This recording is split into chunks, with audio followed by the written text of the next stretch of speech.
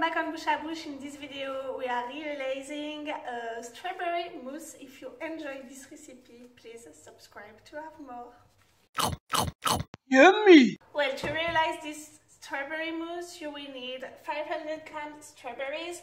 I did not have 500 grams strawberries so I mixed it with some blueberries. One lemon, 220 grams of caster sugar, 400 millimeters of double cream, about 12 grams of gelatin leaves or 1 gram and a half of agar agar. Okay, first things you will soak your gelatin leaf in cold water for minimum 10 minutes. Then you will add in the pan your strawberries. And then you add the sugar and you squeeze the lemon in the pan. You add in your pan about 2 large spoons of water and you cook your fruit at medium heat because you don't want it to burn until it turns into a mash.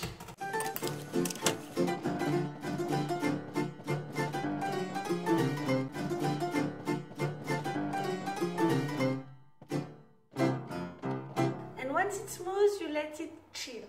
Then you will beat your double cream into a creme chantilly, a whipped cream. Once you've got that, you will just wait a little bit for your uh, strawberry mix to be cold because if you add it straight away on your whipped cream, it will just melt.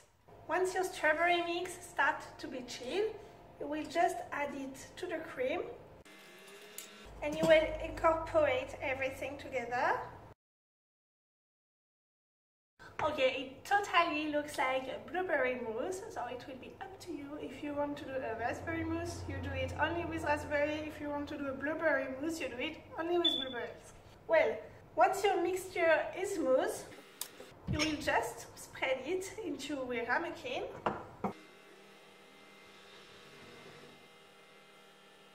Then you put it in the fridge and you don't touch it for the next minimum 5 hours, overnight the better. After minimum 5 hours it's time for you to remove your strawberry mousse from the fridge.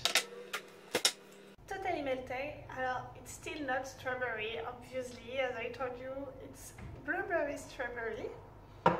We will decorate it because when it's nice it's good. If you want to unmold it before you pour your mixture in a ramekin, you just add a cling film in the bottom like that. You can take it off easily. Here it is. This is a mousse. That tastes absolutely amazing. I'll see you later for a new video on à Bouche. Bye bye.